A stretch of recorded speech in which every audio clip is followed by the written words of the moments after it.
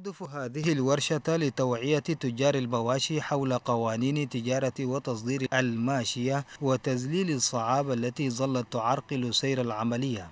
المنسق الوطني للمشروع الإقليمي لدعم الرعي في الساحل الدكتور أحمد حسن موسى تطرق إلى أهمية الورشة وقال من الضروري إزالة كل العقبات التي تعتري طريق تنمية الثروة الحيوانية وتقريب وجهات النظر بين تجار الماشية والسلطات الأمنية لضمان تطبيق القوانين المنظمة للتصدير ونقلها. تنظم كيفية سير المال وتجارة الأموال من بلد إلى بلد. فعدم المعرفة يسبب يعني تخويف وشك.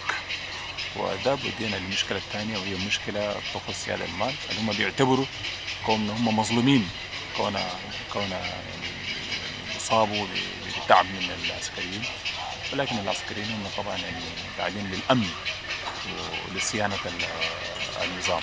المدير العام لوزارة الثروة الحيوانية والإنتاج الحيواني الدكتور محمد جندي عند ترأسه افتتاح أعمال الورشة قال أن المشروع يعمل مع الحكومة التشادية في ترقية قطاع الثروة الحيوانية نظرا لأهميتها الاقتصادية. والنكات سجلت نموءا ملحوظا في مجال الثروة الحيوانية خلال الأعوام الثلاثة الماضية بيد أن هناك إشكاليات تهدد عملية النمو والمتمثلة في عدم احترام تجار المواشي لقوانين قوانين النقل والتصدير من تشاد وإلى الدول المجاورة فضلا عن ضمان الرعاية الصحية الجيدة.